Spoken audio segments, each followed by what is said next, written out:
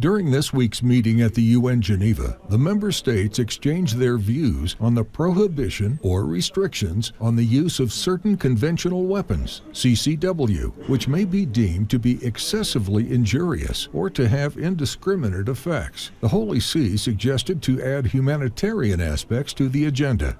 What is certain from the observations and data presently available is that civilian populations are the first victims of conflict. In many cases, they have no protection, millions of refugees and displaced people, a majority of them civilian victims, a great number are women and children.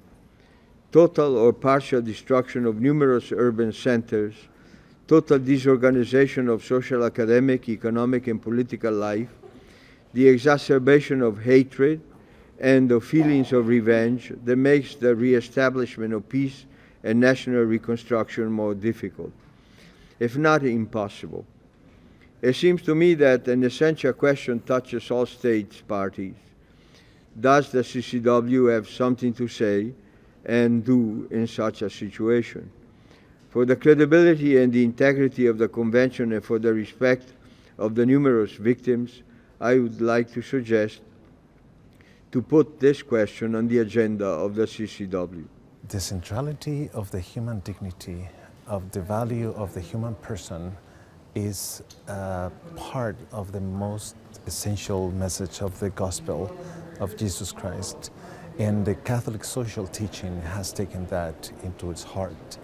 And so, being uh, for the church, being in a place where states are discussing issues of life and death of human beings is incredibly important. Um, in uh, recent times, there's a growing trend of dehumanization of war and finding uh, new technologies to kill people.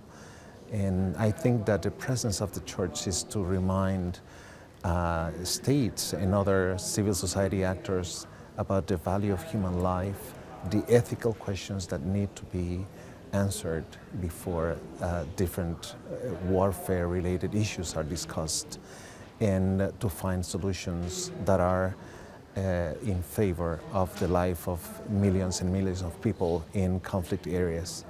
The Holy See reiterated about its position on the looming danger of the raising automation of war and said that respect for international humanitarian law is fundamental.